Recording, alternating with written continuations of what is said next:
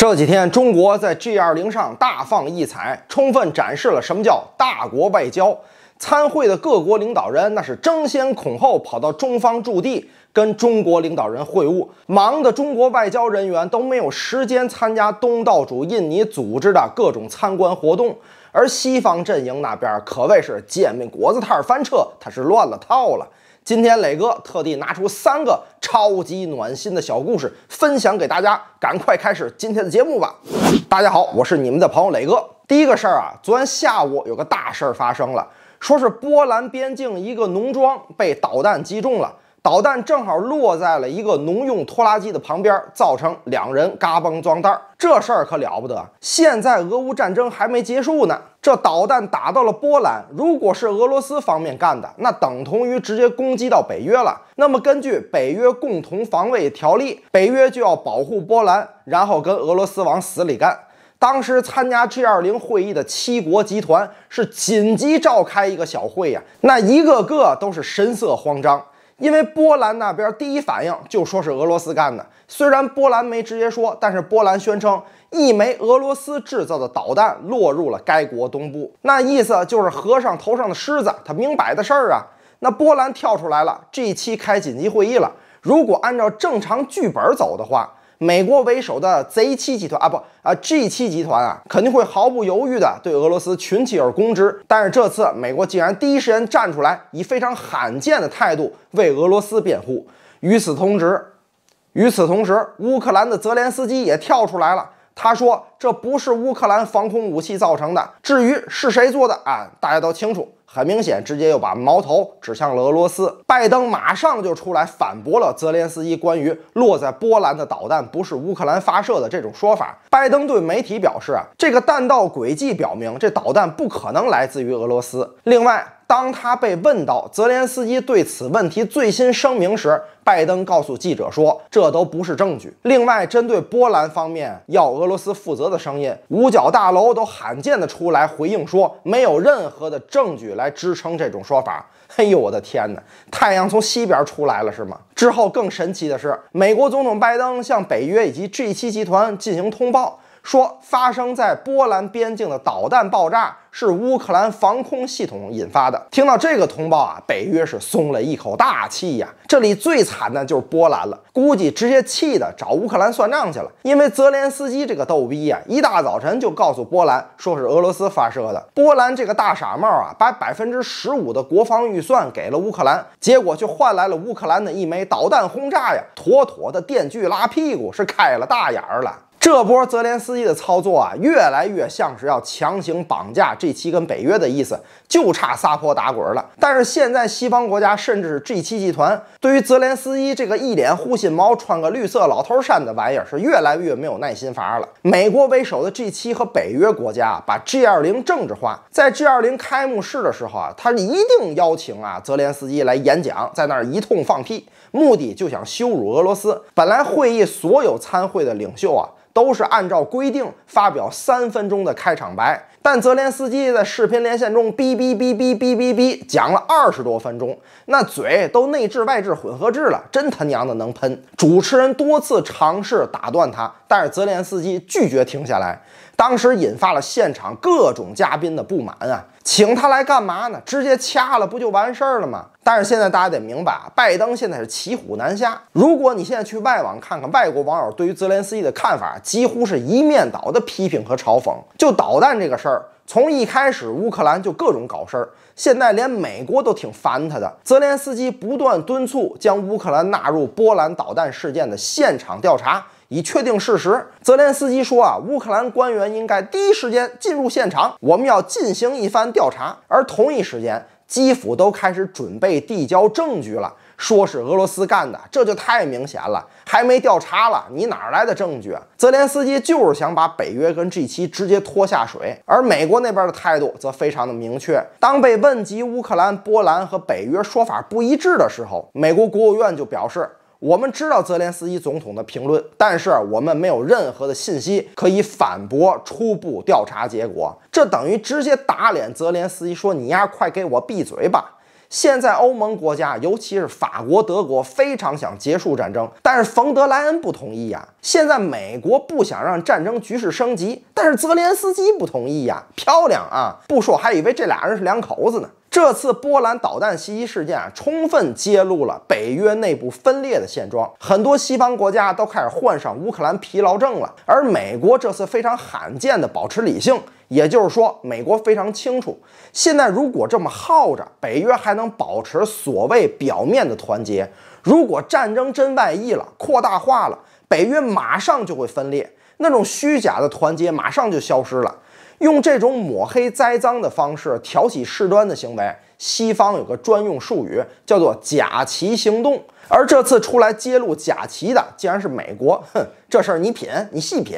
现在美国那可真是老母猪卡炸了，是进退两难呢。老头拜登他是真不容易呀。第二个暖心小故事，那可有意思了，来自于加拿大总理特鲁多。啊，不好意思啊，放错照片了啊，应该是这张。加拿大一直在国际外交上没什么声量。毕竟人家是个跟班儿，但是负面的消息那可真是不老少的。最近这两天啊，特鲁多那可是窝头翻跟头，有多大眼儿是现多大眼儿了。昨天啊，有一个一分钟的视频在外网疯传，视频啊是小土豆在 G20 期间私下找习大大套近乎，结果被习大大一通教育。这个视频啊，精准地拍下了小土豆被教育之后，一个人很受打击、很失魂落魄的。离开会场的画面，那怎么回事呢？咱们直接看这个视频啊。不合适。Everything we discuss is lead to the paper. That's not supposed. 而且我们也不是那样进行的。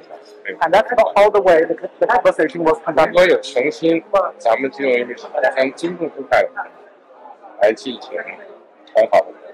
If there is 否则这个结果就不好说了。in Canada, we believe in free and open and frank dialogue, and that is what we will continue to have. We will continue to look to work constructively together, but there will be things we will disagree on, and we will have to. Let's create the conditions first. 好，好，你可以。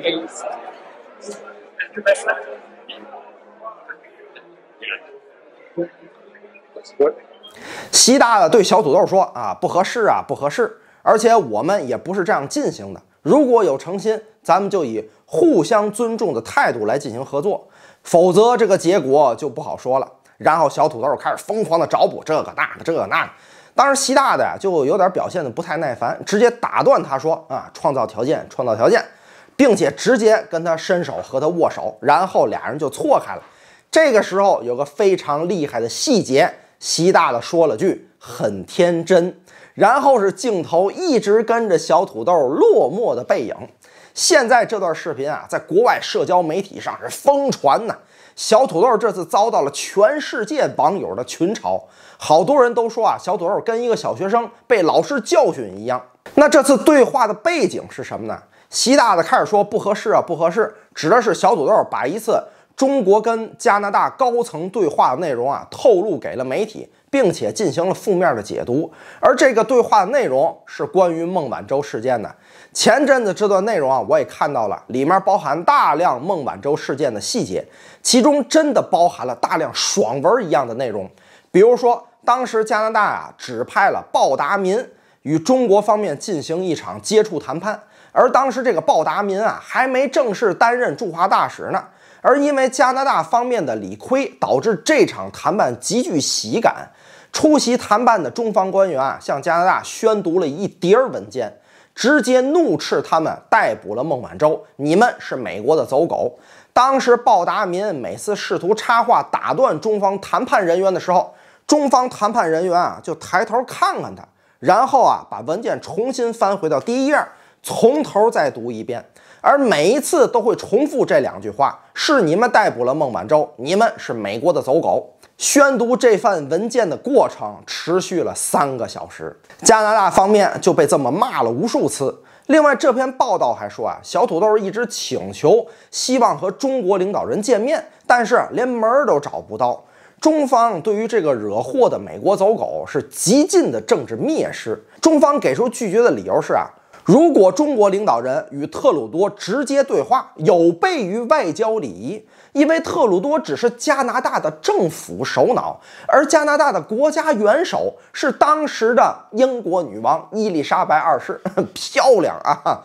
看完这一段，我真的是由衷的佩服中国的外交天团，确实是世界一流的水平跟能力。另外，香港大公报啊还报道了孟晚舟前往加拿大之前，曾在香港被美国特工跟踪跟偷拍。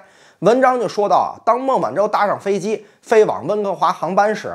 FBI 特工就传来了孟晚舟此行装扮的细节。美国派出的特工间谍在香港执行这一计划的时候，采用各种高科技记录孟晚舟的一举一动，并且还得到了香港内部代理人的协助。这下知道为什么要落实国安法，美国马上就急眼了吧？话说回来啊，特鲁多在习大大面前真的是一个很天真的坏小孩儿。能力和水平边儿都贴不上，难怪被全球的网友疯狂的嘲讽。不过他也是咎由自取啊！在他前往 G20 之前啊，他放话说中国干涉加拿大的选举，妄图给自己加戏，结果被中国外交部直接回怼说我们对加拿大的内政没有兴趣，打脸不打脸。然后在 G20 峰会期间，可能小土豆实在是太闲了，他在推特上转发了一个谣言。说伊朗那儿处死了一万五千人，结果啪啪被打脸。他认为太没有面子了，直接就删除了这个谣言的帖子。这又引发了网友一片的嘲讽。从他这些日子在国际重大外交场合上的表现来看，真的是丢加拿大国家的脸呐，真的是可以称为加拿大的耻辱了。赶快下台吧！啊，你以为小土豆这够丢脸的？还有更丢脸的人呢。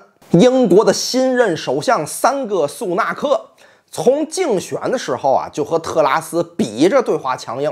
期间，苏纳克啊还宣称中国对英国的安全构成最严重的威胁。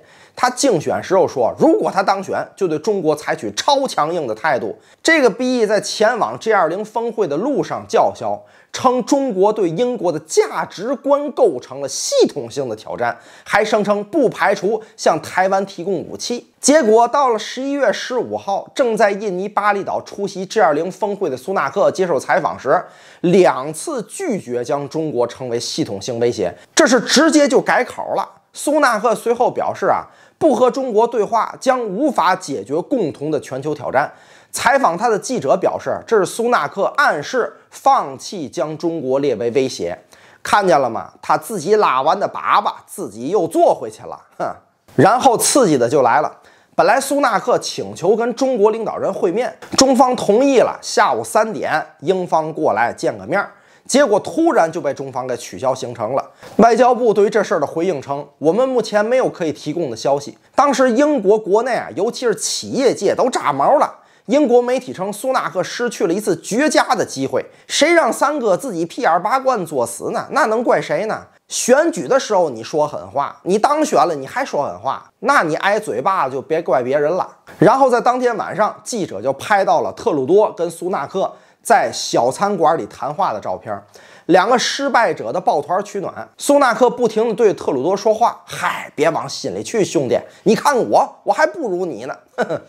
哎呀，看看这些国家领导人的样子，那可真是脚底板长痦子，他点儿太低了。另外，澳大利亚一直也在对中国示好，并且主动来到中方驻地，跟中国领导人进行了简单的会面。据说只是寒暄了一下，什么细节都没谈。澳大利亚的新总理的名字我都没记住。总之啊，也没什么存在感。澳大利亚不止一次啊向中国示好了。并且拒绝美国方面的强行安排，但是中国依然没太给他们好脸儿。为什么呢？很简单，你澳大利亚官方出面把莫里斯那个混蛋之前说的话都给我收回去，公开向中国道歉，服软，然后咱们再谈别的。哼，看完这些，现在大家清楚中国在国际上什么地位了吗？啊，大国呀，靠的是实力，是非常唯物主义的，是什么就是什么。这时候，西方媒体的抹黑宣传根本就不能改变什么。明天，习大大将会访问泰国，预祝中国外交天团一切顺利。好了，以上就是本期全部内容了，别忘了给磊哥点个赞啊！感谢大家收看，咱们下期再见，拜拜。